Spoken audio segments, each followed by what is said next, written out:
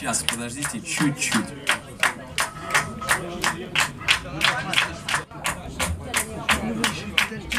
Все,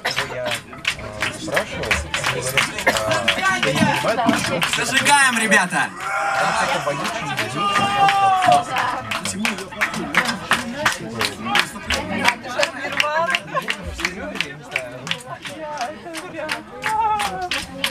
Типа, ну не будет.